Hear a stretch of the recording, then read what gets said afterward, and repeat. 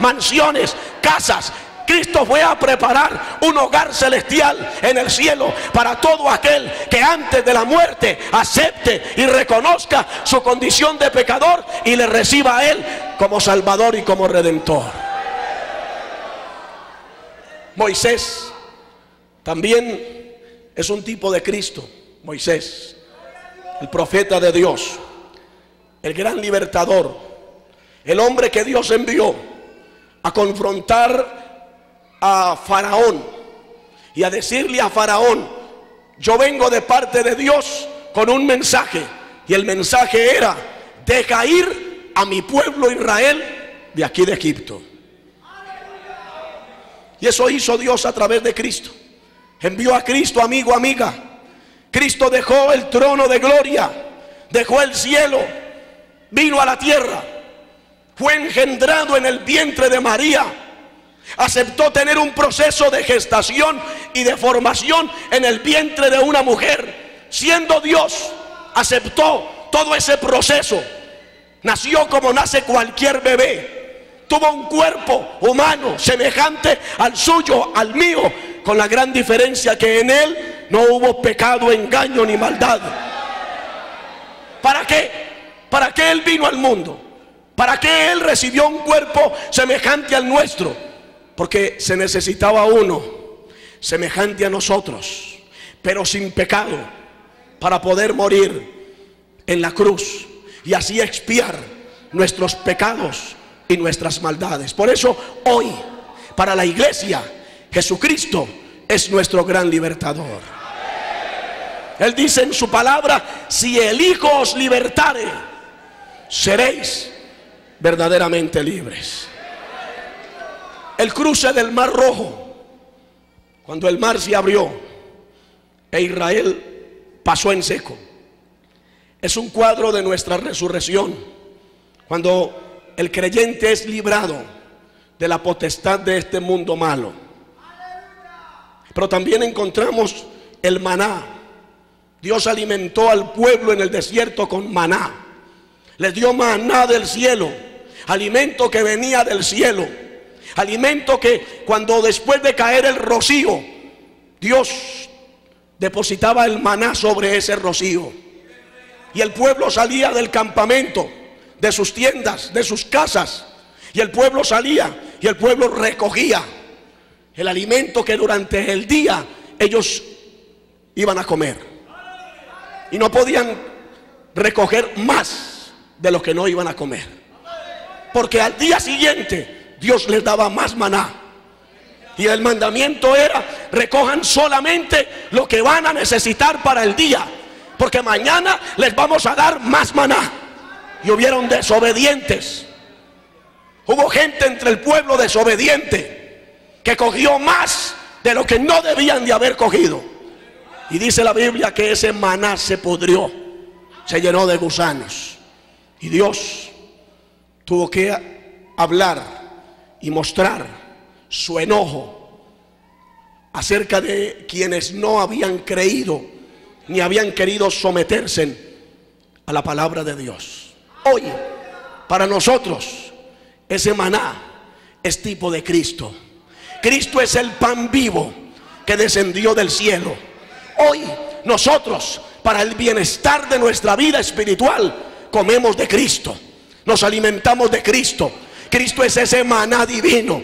Cada vez que usted y yo escudriñamos la palabra, cada vez que oímos, que escuchamos la palabra, Dios nos está alimentando, Dios nos está dando maná, estamos recibiendo palabra, estamos recibiendo el alimento, estamos a través del alimento que es ese maná, que es Cristo, estamos recibiendo fuerza, estamos recibiendo fortaleza, estamos recibiendo poder, estamos recibiendo autoridad, estamos recibiendo todo lo que nosotros en nuestra vida espiritual necesitamos para poder estar fuertes en este camino y continuar en este peregrinaje hasta que Cristo venga por nosotros.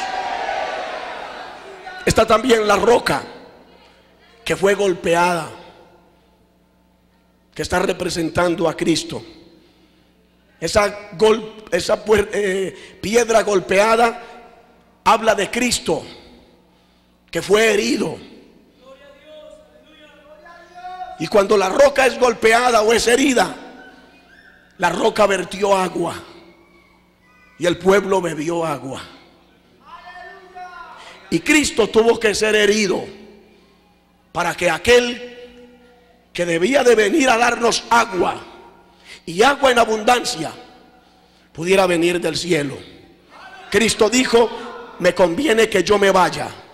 Yo me voy y yo rogaré al Padre y les enviará el otro consolador, el Espíritu Santo, el Espíritu de verdad. Y usted ya lo sabe a través de la palabra. El Espíritu Santo es el que nos da a beber agua. Si alguno tiene sed, dijo Cristo, venga a mí y beba. El que cree en mí, como dice la escritura, de su interior correrán ríos de agua viva. Esto dijo del Espíritu Santo que habían de recibir todos los que creyesen en Él. Hoy a través del Espíritu Santo nosotros bebemos de Cristo. Nuestra sed espiritual es saciada. Nosotros somos saciados. Bebemos de esa agua que sacia nuestra sed espiritual. Y es mejor, amigo, amiga, usted que nos está escuchando aquí, allá a la distancia, que a través de Cristo usted permita que su sed espiritual sea saciada. Porque la Biblia habla de un hombre que representa a millones y millones y millones de seres humanos que aquí en la tierra no permitió que Cristo saciara esa sed espiritual y murió. Murió. Pero cuando la Biblia dice murió, no habla de cesación de vida habla de separación. Muerte no es cesación de vida. Muerte es separación, porque la muerte separa lo mortal de lo inmortal. Y ese hombre murió. Su cuerpo fue llevado al cementerio, pero su alma estaba en el infierno. Y estando en el Hades, en el infierno, alzó sus ojos estando en tormentos y dice que vio de lejos a Abraham y a Lázaro en su seno y dijo, Padre, ten misericordia de mí y envía a Lázaro para que moje la punta de su dedo en agua y refresque mi lengua porque estoy atormentado en esta llama. Tenía sed. Estaba sufriendo los rigores de esa sed que en vida no permitió que Cristo la saciara ahora en ese lugar de condenación tiene sed. Y está pidiendo, está orando, está rogando, está suplicando en el infierno. En vida nunca oró. En, vida nunca le suplicó a Dios.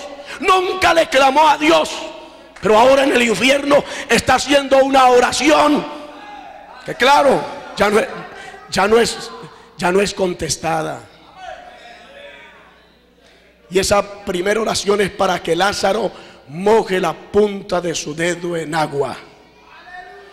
Y con esa punta de ese dedo mojada en agua fuera y refrescara su lengua. Dijo, porque estoy atormentado en esta llama. Y Cristo nos revela esa verdad. Él nos corre el velo de la ignorancia para que miremos más allá para entender que hay vida después de la muerte. Hay vida con Dios o hay vida sin Dios. Hay un lugar que Dios tiene preparado para todos los que aceptan a Cristo antes de morir. Pero hay un lugar que el hombre y la mujer cuando desprecian a Cristo escogen, escogen, que es el infierno y posteriormente el lago de fuego. Lo que usted y yo hagamos con Cristo hoy, hermano, amigo, determinará lo que Dios haga con nosotros mañana. Usted y yo escogemos el camino que nos va a llevar a la eternidad. Aquí en la tierra, en este cuerpo, escogemos el camino o al cielo o al infierno. Por usted y por mí nadie escoge. Por usted no escoge ni su esposo ni su esposa, ni su papá ni su mamá ni su amigo, ni su amiga, ni su religión, ni el sacerdote, ni el pastor. Nadie escoge por usted. Usted es el que escoge el camino que le va a llevar a la eternidad. Y ojalá en esta noche usted se aperciba y entienda que el único camino que lleva al cielo se llama Jesucristo. Y Él está aquí en esta noche. También hallamos a Amalek Amalek es un cuadro de la carne. Representa la carne, la naturaleza humana. Dios le dijo a Moisés, hiere a Amalek. No te apiades. Mata. a Amalek, todo lo de Amalek. Porque Amalek se opone. Se opone. Es el obstáculo más grande que el creyente pueda tener para ir al cielo. La carne, la naturaleza humana. Por eso hay que crucificarla. Hay que crucificarla. Hay que crucificar la carne. Pasiones y deseos hay que crucificarlos. Hay que llenarnos del Espíritu Santo. Usted quiere ser victorioso en la vida cristiana, crucifique la carne con sus pasiones y llénese del Espíritu Santo para que usted viva en el Espíritu, camine en el Espíritu, ande en el Espíritu y tenga una victoria en el Espíritu. De otra manera, usted no puede ser victorioso. Hay que herir a Malek. Hay que crucificar a Malek. A su nombre damos la gloria. Y luego está la Pascua. La Pascua es otro tipo que nos está ilustrando a nosotros la muerte de Cristo. El Cordero Pascual, el Cordero que era inmolado. Y la sangre de ese Cordero se untaba en los dinteles de las puertas, porque pasaría el ángel de la muerte. Donde no hubiese sangre, el ángel entraba, la muerte entraba y mataba al primogénito de esa casa, de esa familia. No importa los años que tuviera, moría el primogénito.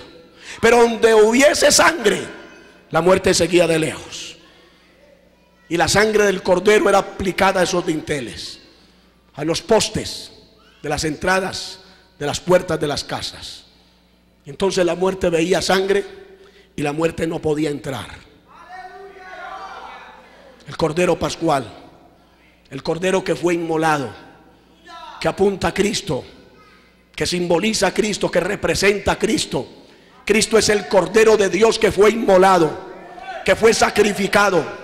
Su sangre aplicada a nuestra vida, a nuestra alma, nos redime. Por eso hoy la muerte no tiene potestad sobre el fiel creyente, el fiel cristiano. Amén. Bienaventurado el santo que tiene parte en la primera resurrección. La segunda muerte no tiene potestad sobre ellos. ¿Qué es la segunda muerte? Es separación. Eterna separación. Total separación del ser humano, de su creador. Cuando la Biblia en Apocalipsis capítulo 20 dice, y el que no se halló inscrito en el libro de la vida fue lanzado al lago de fuego, que es muerte segunda. Separación. Muerte, repito, no es cesación de vida. Muerte es separación. Muerte separa. Está la primera muerte, que es la muerte física, que separa lo físico, lo mortal, de lo inmortal que es el alma. Cristo dijo, no temáis a los que matan el cuerpo. El alma no pueden matar. Temed aquel que tiene poder de destruir ambos, cuerpo y alma en el infierno. Esa es la primera muerte, muerte física, separación de lo mortal y de lo inmortal. Y está la segunda muerte, que es la eterna separación del ser humano de su creador, cuando será lanzado a un lago de fuego. Y ese cordero, Israel tenía que comerlo. Comían el cordero por familias. Se repartían, si la familia era muy pequeña, se unía a otra familia pequeña, porque el cordero todo completo había que comerlo. Ese es Cristo. Ese es nuestro Señor Jesucristo. Hay que comer de Cristo. Hay que comer de Cristo. Estamos comiendo de Cristo. Seguiremos comiendo de Cristo. Cada culto, cada mensaje, cada enseñanza es comer de Cristo. Estamos alimentándonos de Cristo. Por eso el verdadero cristiano, el cristiano que viene al templo con hambre, y come de Cristo y asimila la palabra y se come la palabra y guarda la palabra y vive la palabra y pone por obra la palabra, su vida espiritual es una vida fuerte, es una vida fortalecida, es una vida llena, es una vida nutrida, es una vida que, que está saturada de la presencia de nuestro Señor Jesucristo. Por eso el que está lleno de Cristo